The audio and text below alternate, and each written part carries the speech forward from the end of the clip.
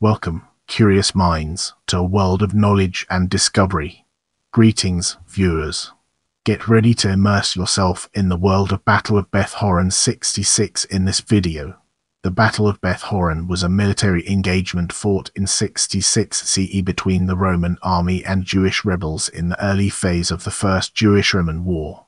During the event, the Syrian legion Legio XI Fulminata with auxiliary support headed by legate of Syria Cestius Gallus was ambushed by a large force of Judean rebel infantry at the passage of Beth Horon on their retreat from Jerusalem towards the coastal plain.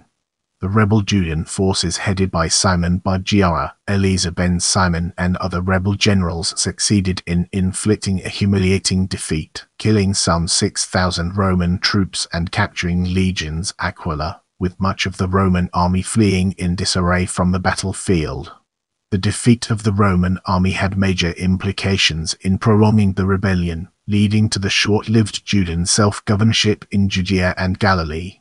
In this section, we'll be peeling back the layers of Roman influence in Judea to reveal its true essence.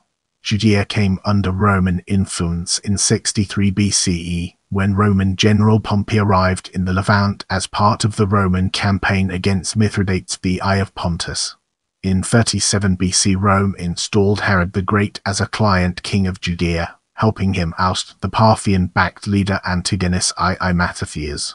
Shortly after Herod's death, Judea was partitioned among his sons as tetrarchy, but due to disturbances by 6 CE it came under direct Roman control and, with the exception of a small autonomous region in the north, became a Roman province, ruled by prefects appointed by Rome.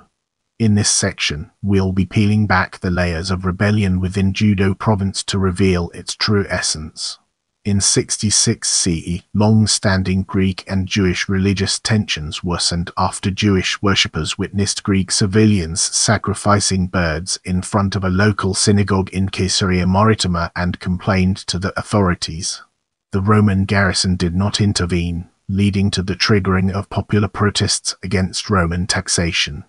The protests were ignored by the governor until public attacks in Jerusalem on Roman citizens and others accused of having Roman sympathies led the army garrison to intervene. The soldiers were attacked as they moved through the city by an increasing proportion of the Jewish residents. Many troops were killed and the rest evacuated Jerusalem.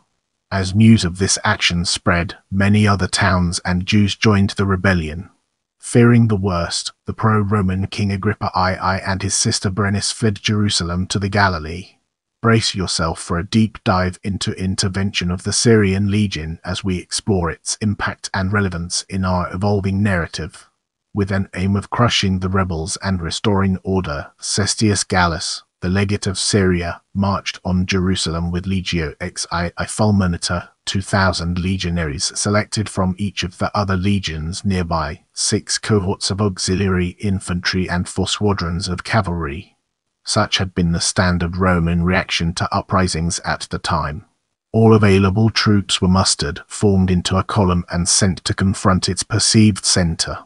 Including troops furnished by allies, some 36,000 troops were assembled. Ideally, such a show of force would have allowed the Romans to regain the initiative and prevent the rebellion from developing and growing stronger. Gallus conquered Bezetha, in the Jezreel Valley, soon to be the seat of the Great Sanhedrin Jewish Supreme Religious Court, but was unable to take the Temple Mount. He now decided to withdraw and wait for reinforcements.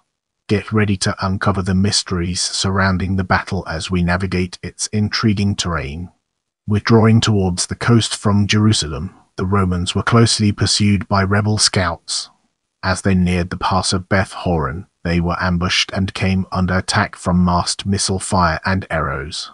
They were then suddenly rushed by a large force of rebel Judean infantry. The Romans could not get into formation within the narrow confines of the pass and lost cohesion under the fierce assault. The equivalent of an entire legion was destroyed, with 6,000 troops killed, many wounded, and the rest fleeing in disarray. Gallus succeeded in escaping with a fraction of his troops to Antioch by sacrificing the greater part of his army and a large amount of materiel. Brace yourself for an in-depth analysis as we navigate through Aftermath and its far-reaching implications.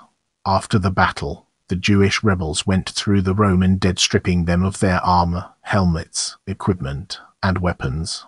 Soon after his return, Gallus died before the spring of 67 CE and was succeeded in the governorship by Mucianus. This major Roman defeat encouraged many more volunteers and towns in Judea to throw their lot in with the rebellion.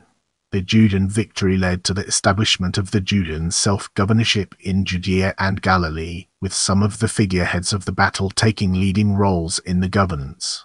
Battle leaders Eleazar ben Simon, Joshua ben Zaphir, and Niger the Perean were appointed regional governors across Judaea's territories. However, Simon Bar Giora was evicted from Jerusalem due to fears by rebel government leaders of his dominance. This led Bar Giara to raise his own army in southern Judaea. A full-scale war was then inevitable. The shock of the defeat convinced the Romans of the need to fully commit to crushing the rebellion regardless of the effort it would require. Emperor Nero and the Senate then appointed Vespasian, the future emperor, to bring the Roman army to Judea and crush the rebellion with a force of four legions. In the upcoming section, we'll be shining a light on literature. In M.C. Scott's historical novel, Rome, The Eagle of the Twelfth, the author describes the Battle of Beth Horon and the destruction of the Ex-Ili Legion. I love interacting with my viewers, so leave me a comment and I'll do my best to respond.